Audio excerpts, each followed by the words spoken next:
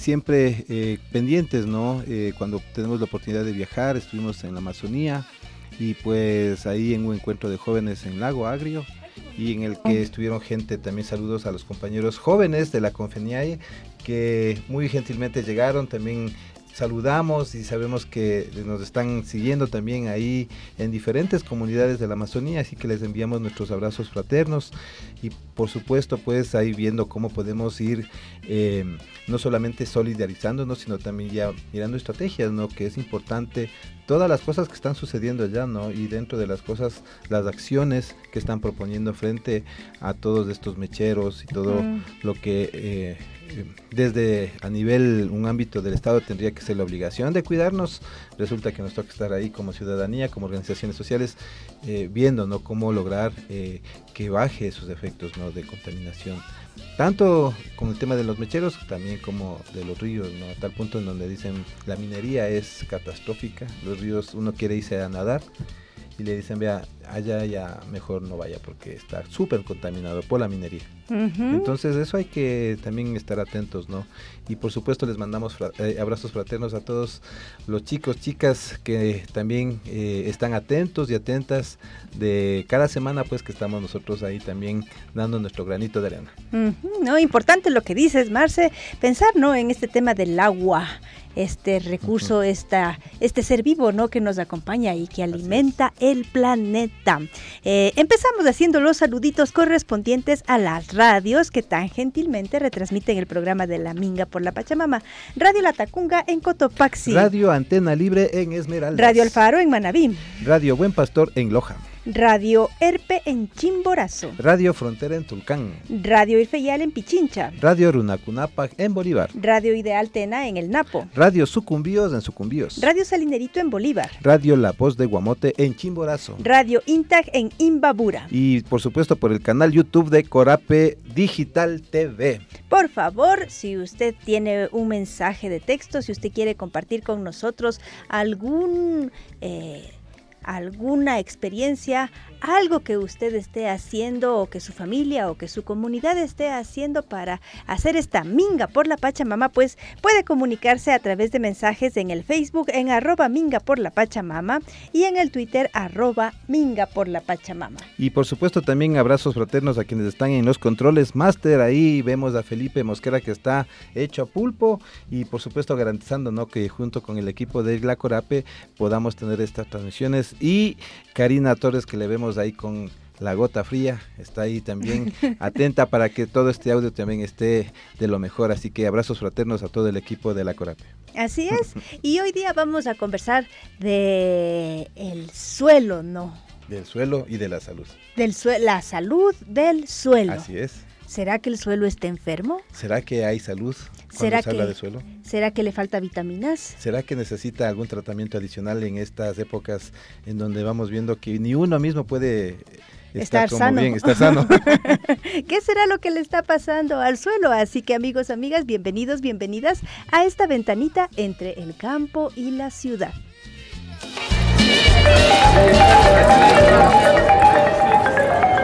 Voces Pachamamapac Shimi. Voces de la Pachamama.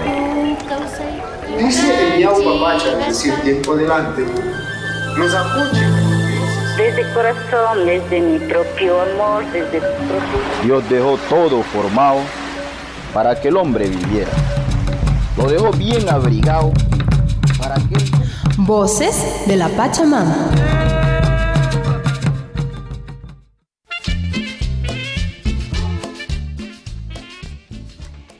Bueno, entonces estábamos conversando ¿no? sobre este tema de la salud del suelo. El suelo está saludable, el suelo está eh, un poquito enfermo. Y para eso tenemos un invitado el día de hoy. Muy buenos días, con quien tenemos el gusto. Buenos días, compañeros y compañeras que nos escuchan en los diferentes lugares del Ecuador. Eh, gracias a la invitación a Eli y a Marce. Mi nombre es Gabriel Sáenz Lituma.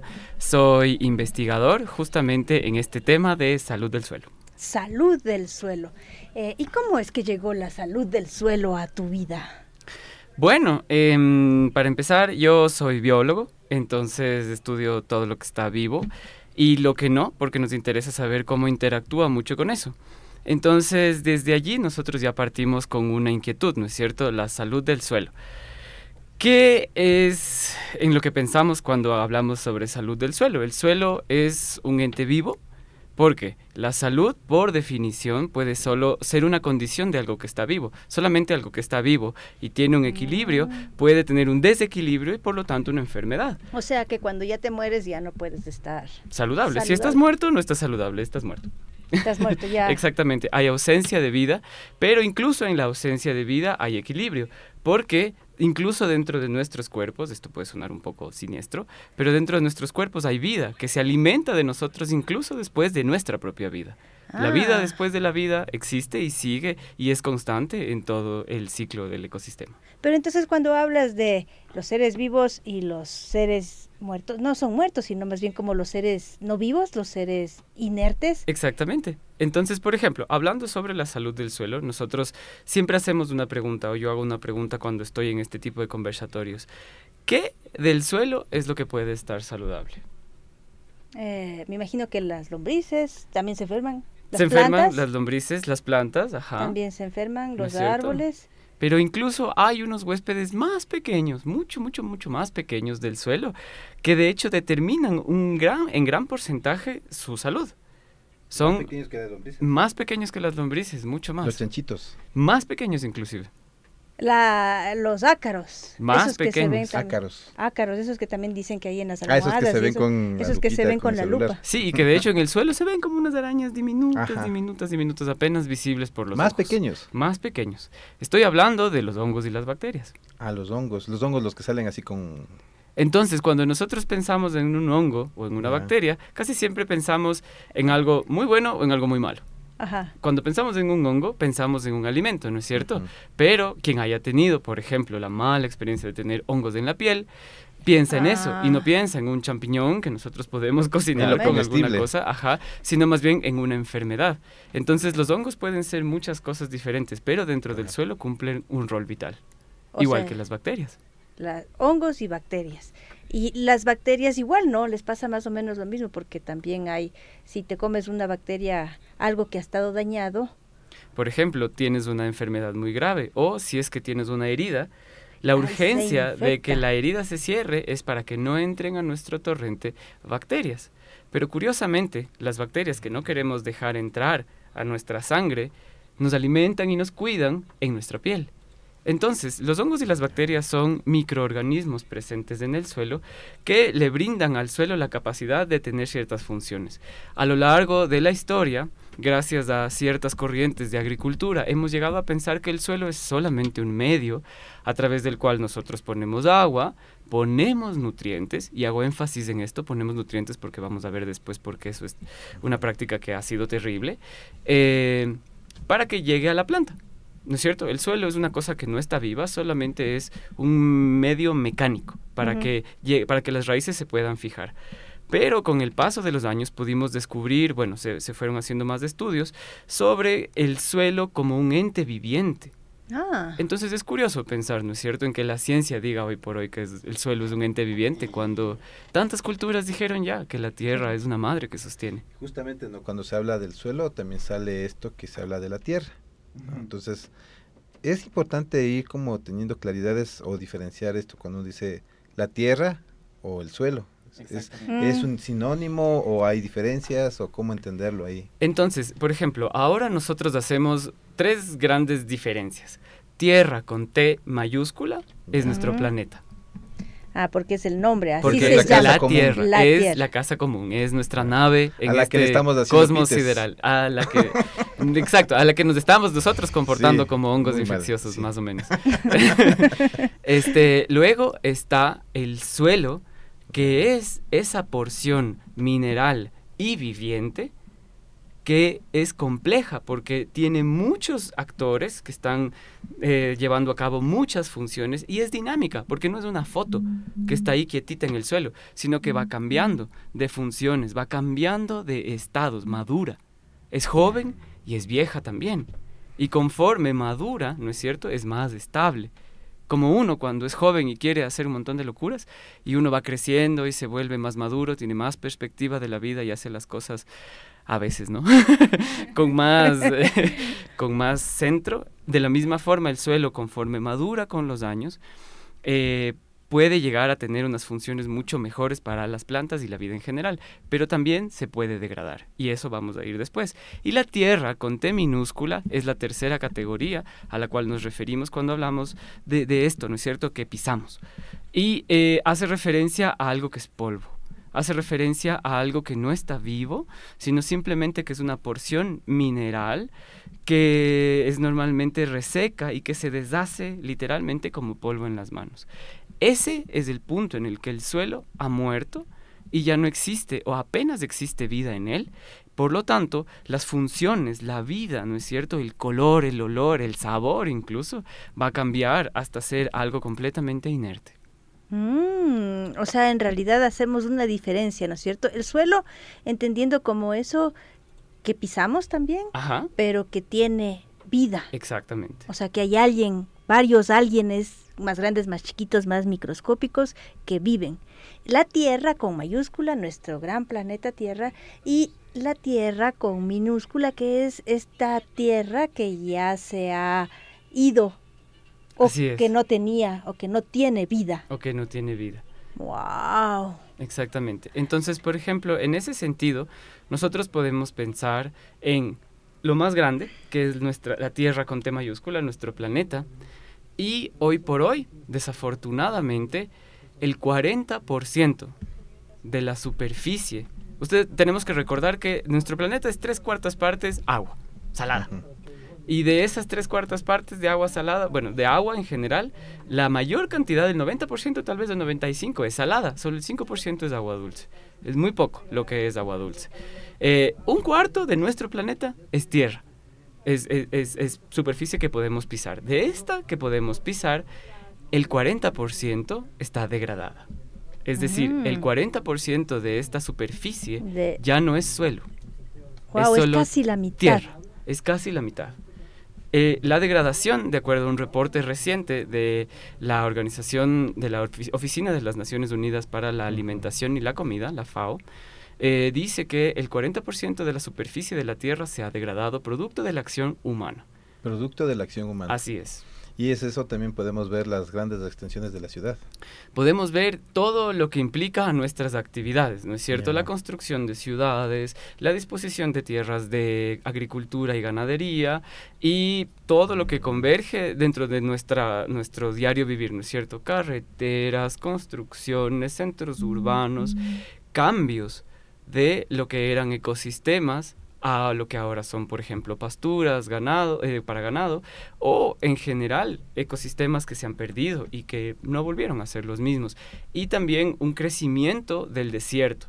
Porque si bien es cierto que el 40% está degradado, en realidad la gran parte corresponde a la actividad humana, pero hay una poca parte que se ha degradado por procesos naturales, decimos entre comillas. Sin embargo, nosotros también hemos alterado los procesos naturales. Entonces tenemos incidencia o responsabilidad directa o indirecta, pero sigue siendo responsabilidad humana. Mm, pero decías también que hay como una madurez del suelo. Es correcto. ¿No es cierto? Entonces, ¿cómo es un suelo joven?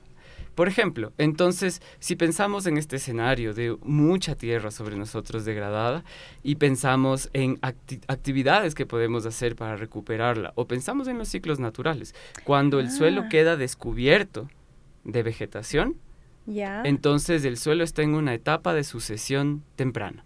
Es decir, toda la vida, la compleja vida que había dentro del suelo, por estar expuesta directamente a los rayos del sol, a la lluvia, al viento, ¿no es cierto?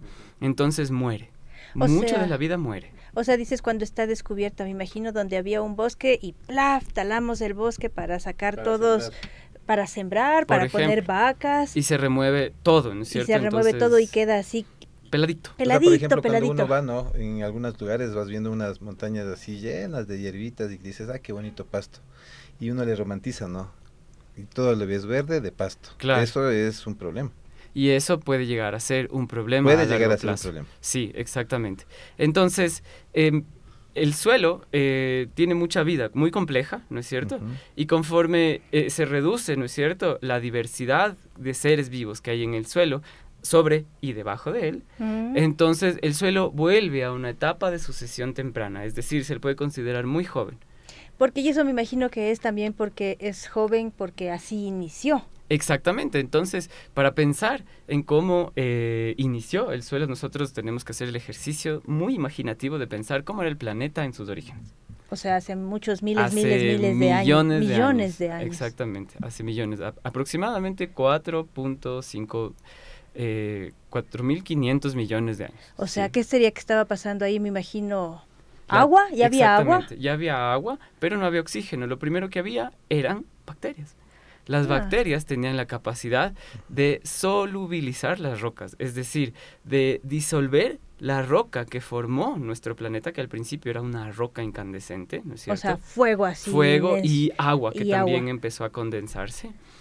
Y las bacterias, que fueron los primeros seres vivientes en, eh, sobre el planeta, eh, empezaron a destruir estas rocas para alimentarse, porque es lo único que había. O sea, comían roca. Comían rocas. Exacto, entonces comían y morían, comían y morían, comían y morían. Y poco a poco este ciclo de comer y morir empezó a formar una capa orgánica sobre la roca, ¿no es cierto? Y eso es lo que era en un inicio el, el suelo suelo. Ah. una serie de materia orgánica, ¿no es cierto?, no viva, y pero también viva, con unos componentes, eh, parte mineral, parte eh, vida, ¿no es cierto?, parte Ujú. bacteria. Y conforme pasaron muchos millones de años más, entonces eso pasó a ser también hongos y también plantas y también muchos otros seres. Entonces cuando nosotros removemos, ¿no es cierto?, la cobertura que existe en un suelo, ese suelo vuelve más o menos a esas condiciones. Muy poca vida, completamente descubierto y sin nada. Mm, y por eso es un, o sea, por eso se piensa que ahí es como un suelo joven porque está recién empezando a tener vida. Exactamente.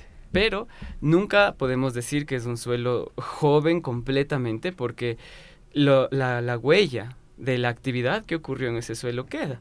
Los nutrientes quedan, Ah. las, las- los microorganismos que tienen los nutrientes que se alimentaron de ese suelo y crecieron y murieron, también, También están, están ahí, ahí. ¿no es cierto? El único problema es que hay muy poquitos. Mm. Entonces, las funciones que antes cumplía el suelo se reducen casi a su mínima expresión. Porque para que haya un ecosistema, ¿no es cierto?, funcional en el suelo, depende de las plantas. Vea nomás. Entonces, ¿Cómo vamos, no? tenemos un suelo temprano, de inicio, pensando eh, que en la actualidad tiene como una memoria, si es que ha sido erosionado, le queda algo de memoria de lo que fue, Ajá, ¿no es cierto? exactamente. Eh, pero es posible, y, y por- porque estamos hablando de la salud del suelo más bien. Ajá. Entonces, cuando tenemos un suelo temprano, está con una buena salud. ¿Cómo, cómo, cómo pensar ese tema de la salud ahí Entonces- en ese suelo temprano? Sí, entonces tú dijiste una palabra clave para poder hilar, ¿no es cierto?, todas estas reflexiones, y es la erosión. Entonces, cuando nosotros clareamos, ¿no es cierto?, decimos en términos vulgares, es decir, liberamos toda la todas las cosas que hay sobre el suelo para poder escoger nosotros qué crece ¿Qué en el suelo, que es prácticamente la agricultura o pastos para la ganadería, entonces el suelo está en un momento muy vulnerable a la erosión. La lluvia, contrario a lo que nosotros podemos pensar, es como que, ah, qué bueno, está Ah, lloviendo está sobre el suelo, ¿no es cierto? Entonces a veces lo hemos visto como un símbolo de, ah, qué alivio para el suelo, para las plantas Porque que se están va a ahí. mojar. porque Pero va a las gotas caen con mucha fuerza. Imagínense ustedes que una gota, imagínense que nosotros somos un- una bacteria. Una gota sería el tamaño de un meteorito. Ay, solo cuando te cae el granizo Una- una- nomás. de Dos pisos. Exactamente, ¿no? Entonces sería algo que cae y nos manda volando por los aires, quién sabe a dónde. Entonces, la lluvia golpea el suelo y cuando está desnudo, lo destruye. Ah, Las bacterias, producto de su actividad, ¿no es cierto? Exudan, decimos a veces, ¿no? Es como que ahí. generan una, una especie de goma que pega el suelo y le da estructura. Esta estructura permite que las raíces crezcan adecuadamente y que haya intercambio de aire. Nosotros podemos pensar, pero en el suelo, ¿quién necesita, necesita aire? aire? Claro. El suelo no respira. No es al revés, ¿no? Que las plantas producen aire, sí. Claro, porque salen las hojitas. y Exacto, pero las partes verdes. Cualquiera de nosotros puede sacar una, raíz, una planta de Ajá. raíz y ver que la raíz no es verde. La raíz es más bien de otro color porque necesita ese color oscuro y tiene una respiración, decimos, igual que cualquiera de los seres que nosotros vemos respirar. El suelo, el suelo. Las ranas, nosotros los humanos ah, respiramos. Las raíces, exactamente. Y las raíces necesitan aire. Ah, ellas sí respiran por, o sea, ellas inhalan y exhalan. Eh, algo parecido. Entonces, a, pesar de que nosotros inhalamos y exhalamos, cuando nosotros inhalamos, el aire entra a nuestros pulmones y dentro de nuestros pulmones el oxígeno viaja a nuestra sangre. En el caso de las plantas, ellas no hacen esto con las raíces. Con las hojas se puede decir que sí. Que sí. O sea, con las hojas sí cogen el, cogen el CO2, y botan el oxígeno, que es lo que nos enseñan en, cambio, las raíces necesitan que haya aire corriendo, porque ellas no pueden inhalarlo. Entonces, si no hay estructura en el suelo, si no hay microorganismos activos que generen esta estructura, el suelo colapsa. De la misma ah, forma en la que hemos visto recientemente, por ejemplo, como las actividades de minería ilegal, ¿no es cierto?, han generado socavones en la región de Saruma, mm. eh, es algo similar a lo que pasa en el suelo. La falta de actividad que sostiene, ¿no es cierto?, una estructura, genera huecos inertes que nadie está manteniendo, galerías, y colapsa, y se condensa, y se compacta. Y la compactación del suelo es uno de los principales problemas agrícolas generados por eh, la, desnudez del suelo sumado a muchos otros factores, como por ejemplo un exceso en el arado, como por ejemplo eh, minimizar la cantidad de raíces, y ya vamos a hablar de por qué las raíces son importantes para la estructura del suelo. Eh, y también porque en general el suelo queda completamente expuesto. Cuando nosotros estamos aquí bajo el sol de las 12 del día, sin protector solar, sin gorra. Sin un arbolito arriba. Sin un arbolito arriba que nos cubra. ¿Qué pasa con el sol? Nos achicharra, ¿no es Claro. pues estamos Te quemas, te enfermas. Y hay que hidratarse uno y se llega, pero... Y si no tiene sombrerito, peor. nada, no nada. No hay paraguas. Ahora imagínense ustedes que... Vamos a ir un paso más adelante. Tampoco tenemos ropa. Ah, no, ahí sí estamos. Entonces la cara nos vamos a quemar el cuello, los brazos, la playa. estamos acostumbrados. Pero por ejemplo, cuando estamos en la playa y vamos por la emoción al mar y, exacto, un camarón. Ahora imagínense eso nos pasa en seis horas. ¿Qué pasa con los organismos vivientes que están en el suelo, que están expuestos a 12 horas de sol, que es lo que tenemos aquí, y una radiación muy fuerte por días y días y días y días? O sea, ellos van a morirse, ¿no? Se mueren, se mueren, exactamente. Se mueren destruidos porque la, la radiación ultravioleta es muy fuerte. Entonces, todos esos factores generan que este suelo, ¿no es cierto?, baje en sus funciones, que baje en su estructura, que baje en su diversidad. Y por eso decimos que está en un estado joven, porque está en un estado en el que eh, no hay casi actividad, pero podría. Entonces, allí, en ese punto, el suelo es muy susceptible a erosionarse.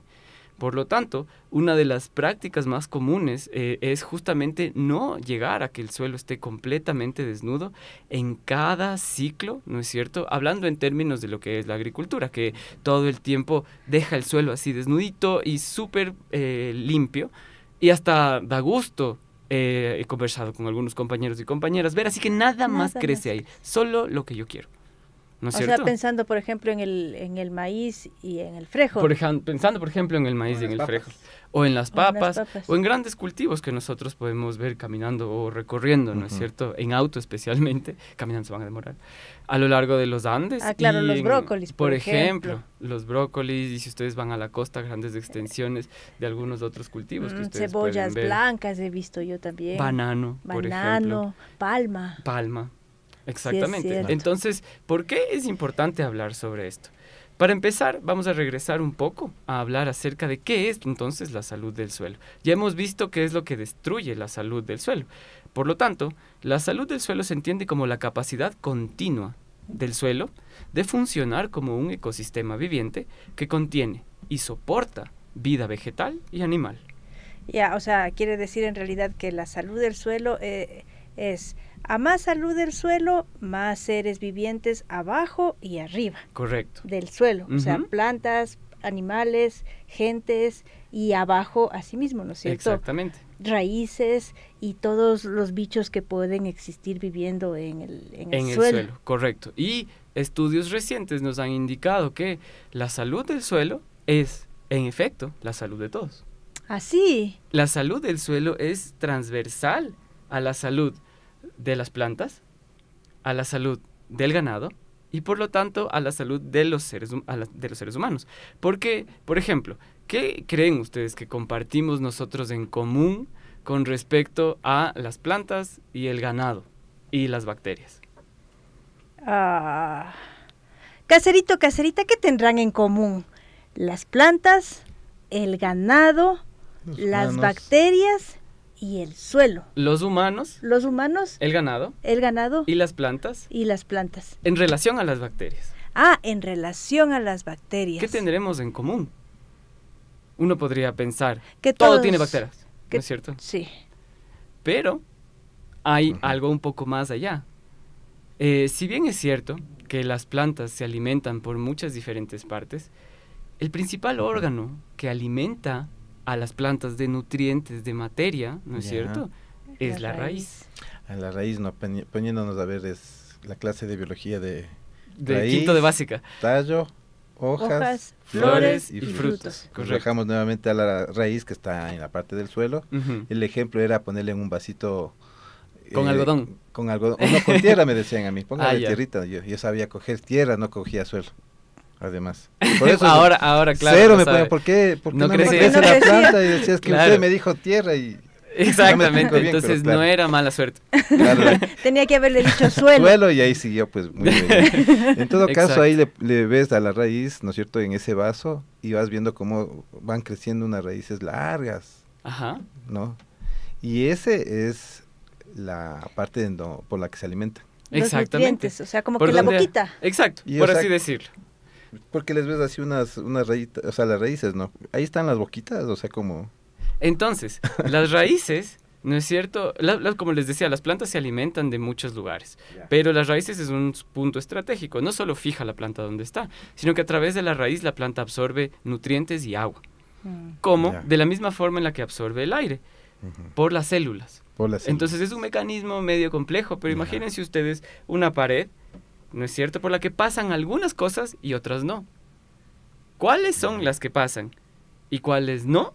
Depende del tamaño. Entonces el agua, por ejemplo, puede llegar a hacerse muy, muy, pequeña y pasa por ahí. Los minerales pueden llegar a ser muy, muy pequeños y pasar por ahí. Algunas bacterias ya no pasan porque son demasiado grandes. Imagínense lo chiquitas que son estos huequitos. Entonces son como bocas, ¿no, es cierto? Como muchas millones de bocas hay chiquitas. Eh, pero, quédense con esto. La parte donde más bacterias hay en una planta es en las raíces. En las raíces. Ahí hay más bacterias. Ahí hay más concentración de bacterias. Si más bacterias, porque también el error que se a veces uno como le ahogaste a la planta, ¿no? Cuando dice, voy a ponerle agüita. ¿Cuántas veces al día? Una vez al día. Y me dicen, no le pongas una vez al día porque les vas a ahogar. Es demasiado. ¿No? Y entonces es como uno va entendiéndole a la planta, ¿no? es mitos también, ¿no? Porque a veces como que yo creo que también estamos romantizando mucho esto de la vegetación, esto de lo verde, pero no, no le vemos cómo funciona efectivamente este ser, ¿no? Sí. es, necesitamos bacterias entonces. Así es. Eh, entonces, solamente para seguir con esto. Eh, las, eh, las vacas, por ejemplo. Ah, cierto, que era que tenemos Exactamente, tienen cuatro estómagos y solo comen pasto. Así es cierto. Son eh, mamíferos herbívoros que tienen la capacidad única única de solo vivir de plantas, porque la mayor cantidad de los eh, mamíferos que vivimos sobre la Tierra necesitamos comer animales, y plantas, tener una dieta omnívora. ¿Qué será que hay dentro de esos cuatro estómagos de las vacas que les permite, de hecho, digerir solo plantas? Ah. No, pues adentro deben estar bacterias. Bacterias. Y de las buenas. Y de las buenas. Además diferentes, ¿no es cierto? Además en cada, diferentes. En cada uno de sus estómagos. Eh, sí, de hecho en cada uno de sus estómagos, pero medios similares de entre sí y entre todas las vacas en general. Entonces, tanto en las raíces como en las vacas, los principales órganos de digestión están acompañados por bacterias. Y finalmente, los seres humanos tenemos tres por 10 a la 13 células. Tenemos eh, eh, son muchas. Ahí sí, Son, ajá. Miles de miles de millones. son, esos ceros a mí ya me, me, Se, dice son tres, 30 trillones de, De bacterias. De, Ah, células. De, De células. Ajá, nuestro Ah, cuerpo. ya. Solo un trillón nomás, imagínense. yo ya, es imposible, me quedo ajá, ya. exacto. Y tenemos 39 trillones de bacterias, virus y hongos viviendo dentro de nuestro dentro interior. Ajá. En nuestra boca, en nuestros ojos, dentro de nuestros pulmones. Pero sobre todas las cosas, ¿dónde creen ustedes que está la mayor cantidad de bacterias? En La pancita. En nuestro sistema digestivo. Claro. Oiga, y entonces algunas personas yo conozco que no les gustan las bacterias. Claro. Esos 30 trillones dicen muchas bacterias me... Qué miedo. Qué miedo, Dios, ¿qué hay que bajarle a por lo menos a Me voy a ir a tomar un desinfectante. Claro, y me Un capaz de que me lavo con, al- con, con cloro ahí todo el cuerpo y dices, oye, no hagas eso porque... te va a afectar". Exactamente, exactamente. Entonces, las bacterias y los hongos cumplen un rol vital en facilitar la alimentación de los seres vivos sobre la Tierra. De todos. Todos. O sea, animales, plantas, humanos. Hongos y bacterias permiten que nosotros eh, podamos digerir ciertos compuestos que serían indigeribles si estuviéramos solitos en el mundo. Wow.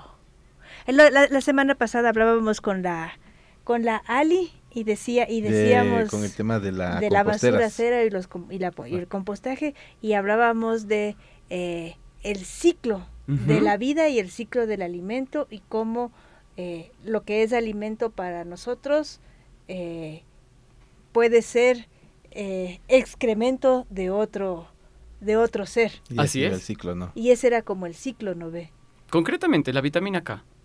La vitamina K no podemos nosotros generarla solos. La vitamina K se genera por la Escherichia coli, una bacteria que está en nuestras heces. Que la vitamina K con dos K.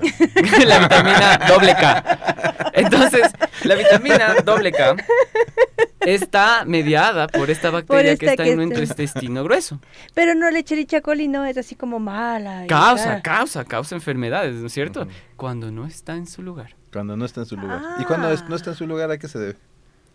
Piense usted, compañero. Entonces, cuando usted consume alimentos Ajá. preparados por una persona que no ha tenido una higiene adecuada en sus Que manos, no se lavó bien las manos. Exactamente, entonces en esos alimentos usted va a encontrar bacterias entéricas, le decimos, es decir, bacterias Y del tracto riesgo entérico. Ajá, y hay un riesgo, porque la bacteria está fuera de su lugar.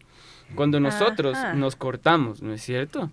Ya. Si es que llegan a entrar muchas bacterias que viven en nuestra piel y en nuestra saliva, como el Staphylococcus aureus, por ejemplo, podemos llegar a tener una infección terrible. Sin embargo, ¿nosotros qué hacemos? claro. Instintivamente nos lamemos las heridas Claro, a veces, ¿no es cierto? Y hay el dicho. Hasta uno mismo le ve al guau ahí, ven, ven, te, babita, babita. Exactamente. ¿Por qué? Porque todo está en equilibrio en nuestro cuerpo. Nuestra saliva tiene anticuerpos, antibióticos naturales que mantienen esas poblaciones a raya para que cumplan su función de protegernos y ayudarnos a digerir, pero que no nos maten.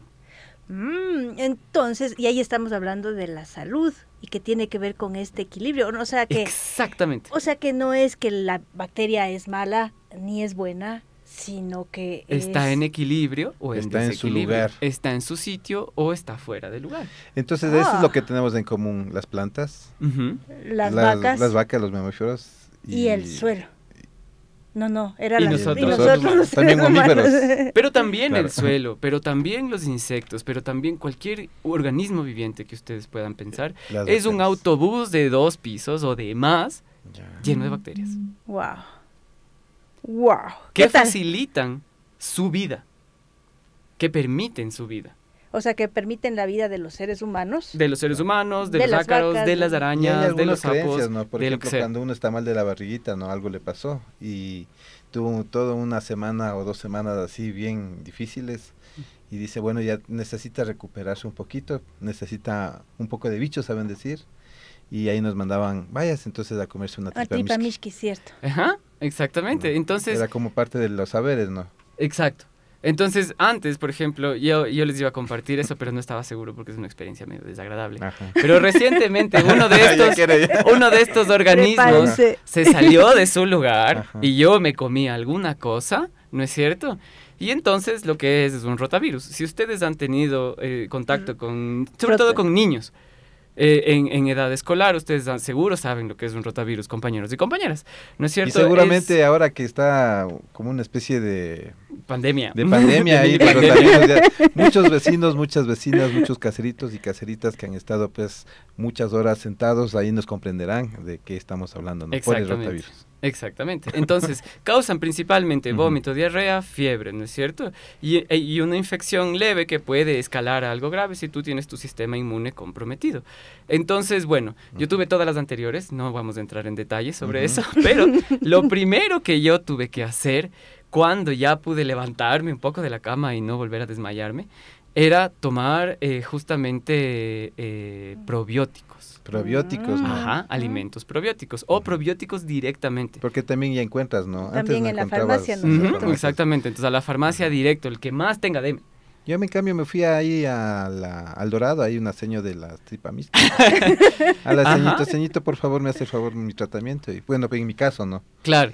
Porque hay casos, y Hay casos y casos, exactamente. Así como hay tantos cuerpos tan diversos, ¿no es cierto? Claro, y también rotavirus y rotavirus, ¿no? Exactamente, cargas de virus, ¿no es cierto? Entonces, ¿qué es lo que hacemos con eso? Repoblamos nuestro intestino, porque por todos los anteriores síntomas que les comenté, eso queda es como el suelo. Como el suelo, desnudo. Y no podemos digerir nada. Yo, mi apetito ah. se encogió, mi estómago se encogió. Tenía que tomar enzimas digestivas para comer una porción chiquita de algo. Wow. Y ahí me di, yo estaba bien malito, pero ahí me di cuenta, para mí fue súper interesante sentirme como ese suelo. ¿No es cierto? Más o menos acercándote ya, ya no era suelo, sino ya era una roca, ya era ya, mi intestino era tierra, ¿eh? mi intestino era cangagua. ya, no crecía nada ahí, no había nada, no alimentaba a nadie, ni a mí, nada, nada, nada. Pero fue interesante experimentar eso, ¿no? Cómo la falta, la ausencia de microorganismos y de las condiciones para que ellos vivan afecta mi salud y afecta la salud de todo a mi alrededor, porque yo no desempeñaba mis tareas bien, yo no pude hacer nada más que no estar en cama tres días, mucha gente estuvo preocupada por mí, yo tenía riesgo de contagiar a otros. Entonces, ahora me puedo reír de eso, pero en ese momento sentía que me iba a morir. y, era grave, y era cuando grave. ya uno le da un apetito, ya dices, ah, ya está llegando, ah, ya, vuelve nuevamente mi Exactamente, entonces decimos, ah, ahora imagínense ustedes el 40% de la superficie de nuestro suelo sintiéndose al borde de la muerte. Y en esa situación estamos subiendo o estable o bajando. Estamos empeorando. ¿Cómo estamos haciendo las cosas? Eh, bueno, no nosotros, ¿no? Porque además es, es, por el tema de, también hay un sistema de codicia, ¿no? Que también está impulsando. Sí, y podemos pensar que no depende tanto de nosotros, pero cada decisión que nosotros tomamos como consumidores genera una huella. Entonces, vecino, vecina, usted que le gusta las compras, usted que le gusta hacer las compras, que le gusta ser responsable, cuando decimos que somos responsables y no lleva su fundita, por ejemplo, ni su canastito y todo piden fundado, ya. Por ejemplo. Alerta. O sobre todo preguntar. A veces nosotros tenemos, ¿no? Esa cultura de no ser tan preguntones aquí, de aceptar, de no ser tan metidos, de no ser irrespetuosos respecto a la gente, pero nada tiene de malo preguntar. Disculpe, ¿de dónde viene esto? ¿De dónde viene este producto? ¿De dónde viene esta manzana? ¿De dónde viene esto de acá? ¿De dónde viene esto de acá? yo estuve conversando con los compañeros ahí, saludos a los estudiantes de, de, ¿cómo es? de mm, nutrición, unos estudiantes de nutrición que estaban en niveles ya a punto de, graduarse, ¿no? Y claro, la gente de nutrición, ¿no? Que experta en todo el tema de la alimentación y todo, les dije, bueno, entonces cuando ustedes llegan sus pacientitos, ¿no? ¿Qué les recomiendan? Alimentos saludables. Mm. Ah, muy bien, ¿no? Con muy buenos nutricionistas. Pero ¿a, dónde les recomiendan hacer las compras? Al Supermax. Y le digo, oiga, compañero, ¿y usted dónde hace las compras? Y se quedan así, ¿no? Entonces hablaban de la tienda, hablaban, y, ese, y entonces traje, eh, trajeron productos frescos. ¿De dónde viene ese producto? Les preguntaba.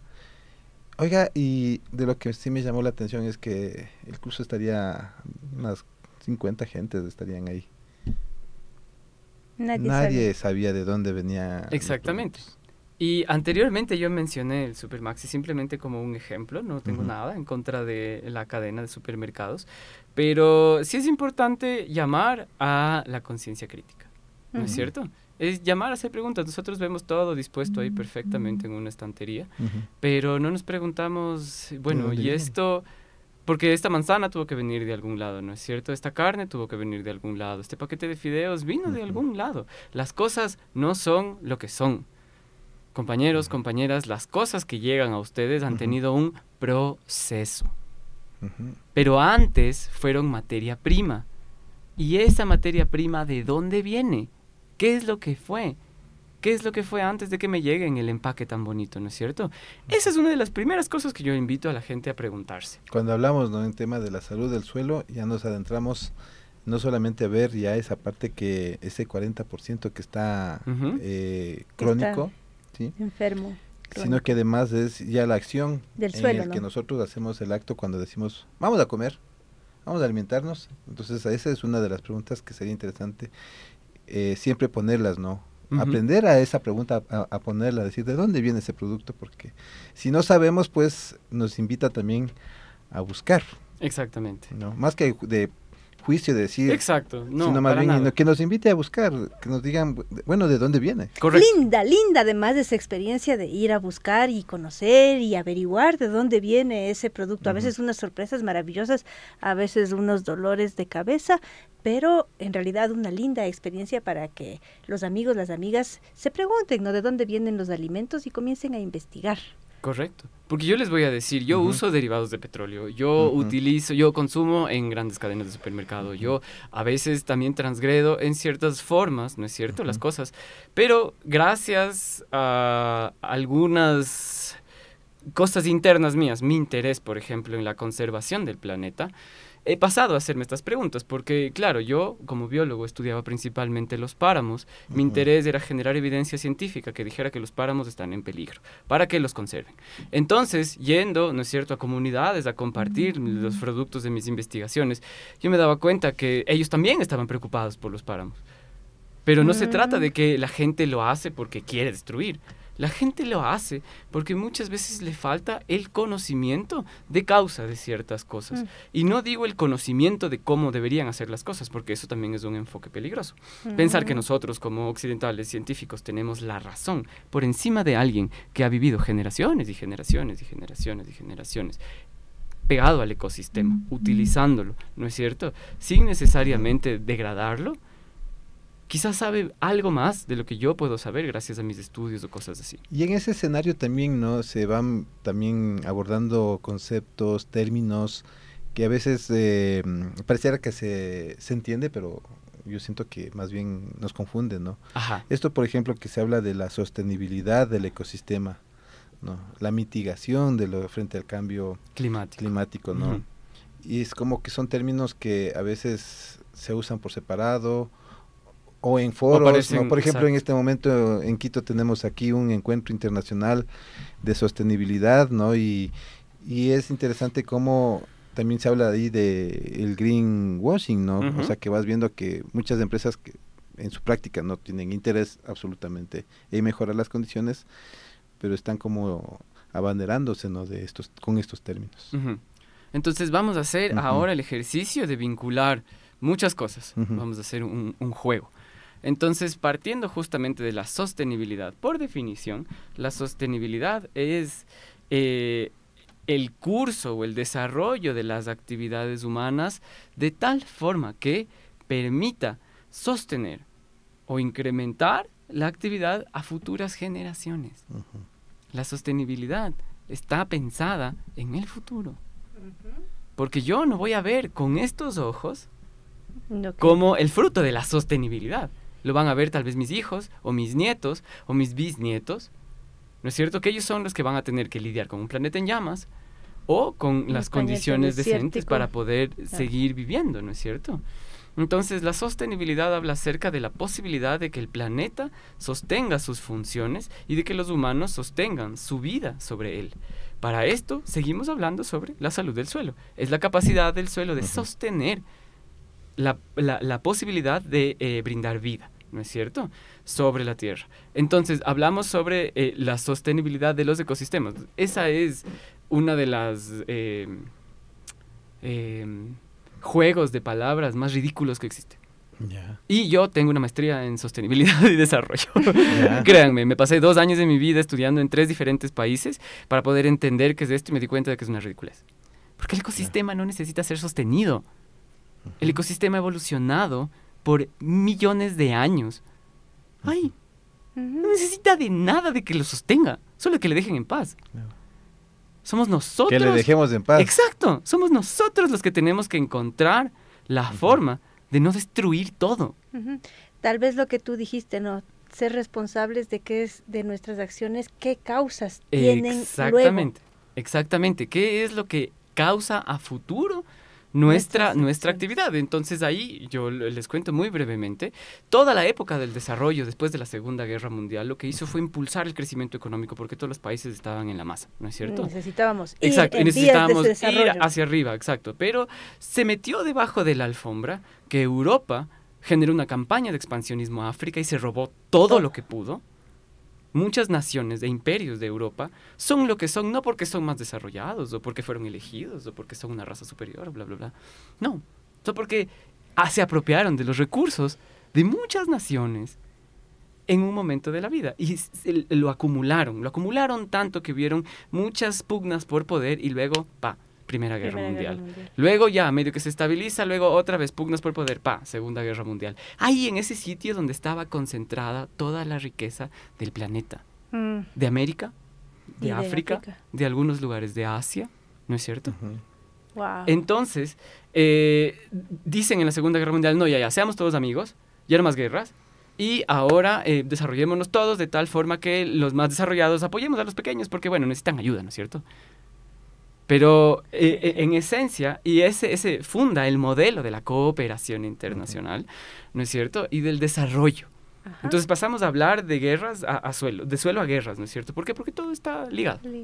Entonces, eh, después de esto, uno de los ejes, ¿no es cierto?, de estas actividades de desarrollo fue la agroindustria, que con ciertas prácticas, ¿no es cierto?, dice, así es como debemos hacer agricultura para poder crecer económicamente.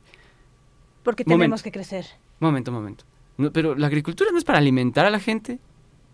¿Ah, ah bueno, sí. Pero lo más importante es el crecimiento económico. Y así es como se impulsa una serie de prácticas apuntadas al crecimiento económico. No a cómo funciona el ecosistema, no a contemplar la salud, ¿no es cierto? No a, contemplar una alimentación sana y sobre todo sostenible en el tiempo. Porque esas prácticas resulta que comienzan a degradar ¿no es cierto? Y comienzan a moverse y dicen, chuta, esta tierra no ha valido, vamos a otro lado. Esta tierra ya no vale tampoco, vamos a otro lado. Esta tierra tampoco vale. ¿Qué, ¿Qué desastre? ¿Qué desastre de tierra? Carajo. Perdón con los radioescuchas. Entonces. Esta, naturaleza está mal hecha. Esta eh, vaina, hombre, que, no pueden hacer una cosa bien. Entonces, así se sigue expandiendo, ¿no es cierto? A grandes extensiones y deja las otras tiradas de pedazos. Y ahí queda el 40% y entonces, de superficie. No, porque también es producto del crecimiento de las ciudades. Ah, ya. Entonces, nosotros decimos como, no, ¿qué vamos a estar aquí viviendo en el monte como salvajes? Hay que vivir en un lugar medio decente. Entonces, vamos a pavimentar aquí para construir una casa y no mancharnos los zapatos porque somos una ciudad, no, no podemos estar a, merced de la naturaleza. Los graneros de Quito, por ejemplo, no, este gran granero, el cantón Rumiñahui, por ejemplo, que se le se reconoce como granero de Quito. Que ya el granero ya le ves ya más urbanizaciones. Cada vez hay más publicidades de se vende lote para urbanización, de se vende Igual que adelante pago en su casa. ¿No es cierto? Entonces, eh, nuestro, nuestra expansión como especie también demanda cierto espacio. Entonces, ahora, hoy por hoy, estamos en una situación en la que la agricultura, como la hemos llevado hasta ahora, ¿no es cierto?, ha degenerado los suelos, degenera la vida, lo sabemos, hay mucho estudio, hay mucha ciencia detrás de esto. Eh, sin embargo, se sigue haciendo así. Y no hay más espacio a donde irse, porque aquí estamos, hola, los vecinos y vecinas ya viviendo. Aquí ya no hay cómo hacer agricultura, porque el suelo está sellado. Tapado, además. Tapado, cubierto, De cubierto. Entonces, esto vamos a regresar cuando hablemos de mitigación del cambio climático, pero eh, entonces ahí hablamos acerca de ya una serie de prácticas. Entonces, bueno, todo esto desencadena, ¿no es cierto? Un movimiento social que habla acerca de la reivindicación de la gente que vive en el campo, de acceso a justicia, a derechos, de acceso a libertades, ¿no es cierto? Y a ciertas... Em, obligaciones estatales que, que sean cumplidas para este sector de la gente, que ya no se ponga el dinero al frente, sino el bienestar de la gente. Entonces, listo, comienza a ponerse el bienestar de la gente, pero hay algo que sigue dejado de lado. Está el bienestar del bolsillo, está la lucha por el bienestar de la gente, porque ni siquiera se ha alcanzado, pero seguimos dejando de lado el bienestar del suelo. Mm. Y si no hay salud en el suelo, no hay salud en ningún lado. No hay salud ni en las personas, ni en, los animales, ni en el planeta. Porque esos microorganismos que deberían estar ahí felices, nutridos, ¿no es cierto? Y luego en nuestras panzas, felices nutriéndonos, no están. No están y se reducen a pasos agigantados. Entonces, por eso, eh, la salud del suelo está muy íntimamente ligada con ciertos principios, ¿no es cierto? Que llaman a la gente que utiliza el suelo a incorporar. Son concretamente cuatro. Maximizar la cantidad de raíces vivas sobre este suelo, minimizar la cantidad de disturbios que pueden hacerse sobre el suelo, como por ejemplo un arado intensivo y profundo, maximizar la cobertura del suelo, que así como hay raíces vivas debajo, hayan plantas vivas arriba, que no esté desnudo completo. Y por último, maximizar la biodiversidad. Quizás compañero o la compañera no pueda irse al bosque a recoger cada bicho, cada bacteria, cada cosa, pero sí puede hacer una cosa, no matarlos. Mm, dejarles que sigan Con plaguicidas, con pesticidas, con estos sidas, ¿no es cierto? Con estos agentes químicos xenobióticos, es decir, creados por el ser humano que no existen en la naturaleza por sí, eh, para cumplir una función. Matar, normalmente. Mm. Controlar, se le dice, ¿no es cierto? Porque matar suena feo. Pero es matar. Matar plantas, matar hongos, matar ta, ta, ta, ta, ta, ta, todas esas cosas que se han vuelto enemigas de la naturaleza, del, del, del ser humano, porque están en desequilibrio. Porque les consideran además así, ¿no? Y en ese sentido, ¿no? Que ya vamos mirando cómo a través de este conocimiento, ¿no? Ciencia, geopolítica y tomadores de decisiones, ¿no? Hábitos personales también, pero al final llega un punto en donde hay una desinformación grandísima, exacto. que le rebasa al 40%, ¿no? La desinformación creo que ahí va mucho más elevada, que por eso es que no comprendemos por qué es importante la salud del suelo. Exactamente. Entonces, grandes empresas, ¿no es cierto?, son las encargadas de alimentar al mundo. entre comillas. Se dicen, ¿no? Se dicen, exactamente. Invierten enormes millones de, dinero, de dólares. porque mueven mucho, mucho, mucho poder económico, ¿no es cierto? Y territorial.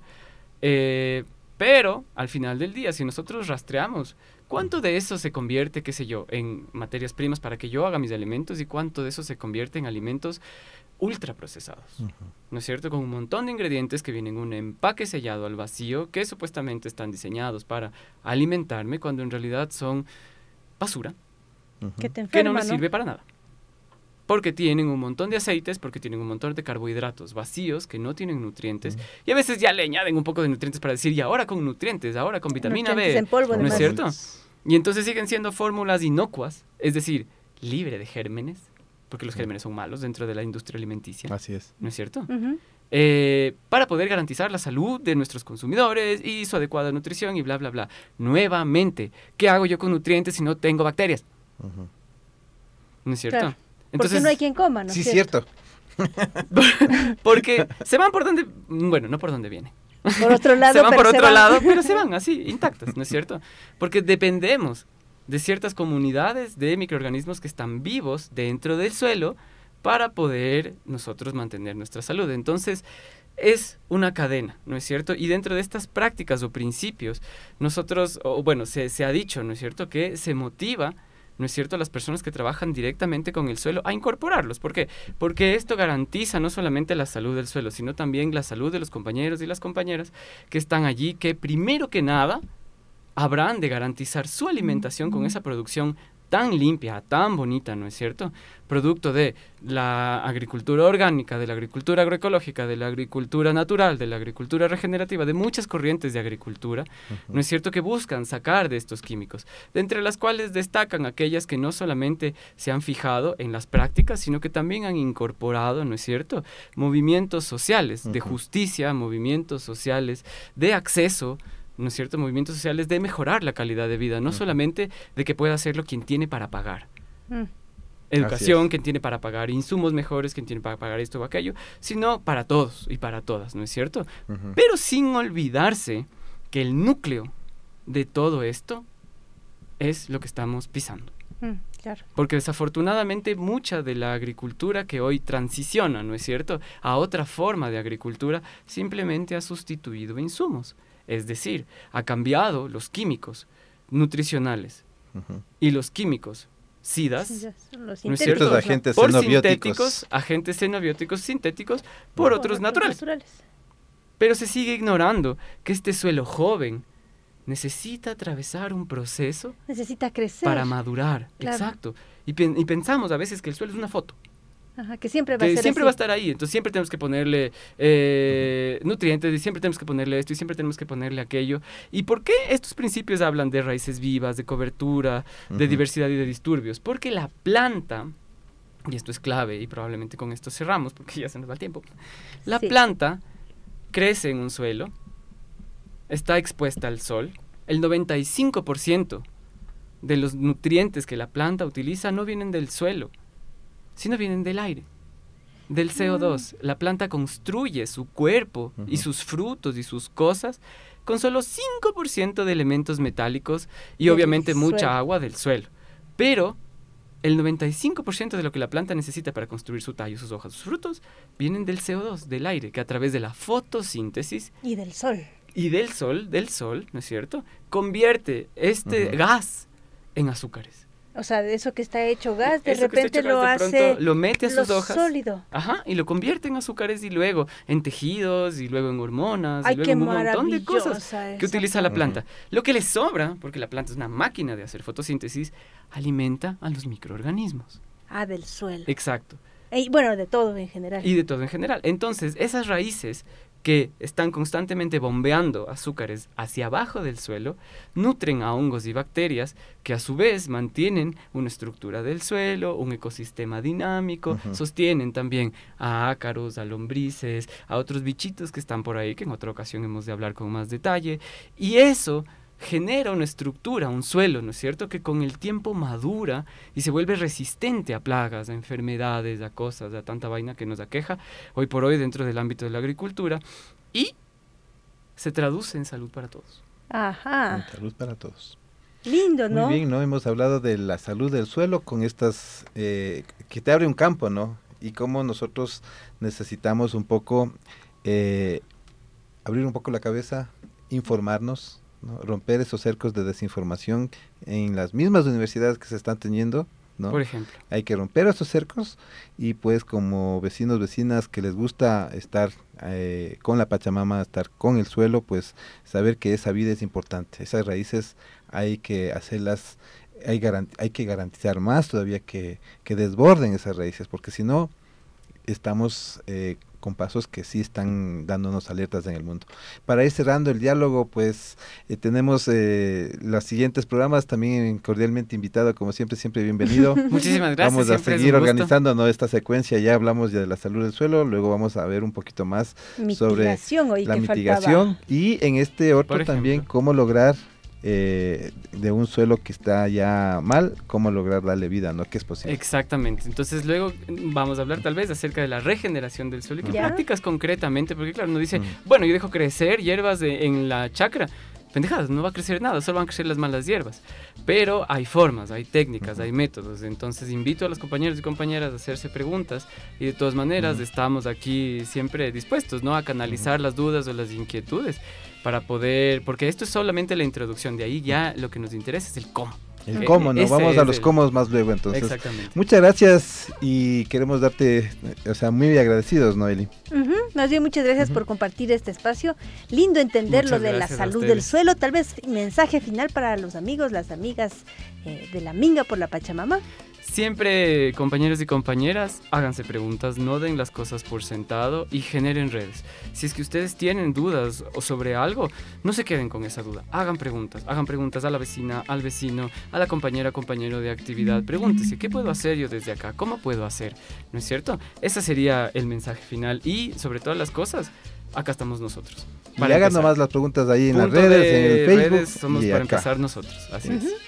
Y pues bueno, pues recuerden que el poder del caserito, el poder de la caserita está en las preguntas y en la salud del suelo. Hasta, la, próxima. Así somos Kamashikona. Yaku kausai yukanchi gaspa kunugnina suma guaira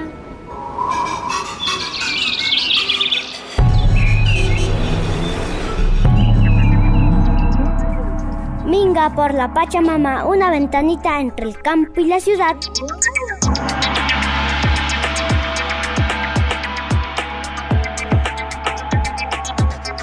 Azizamushka Mashikuna. Azizamushka Mashikuna. Bienvenidos y bienvenidas.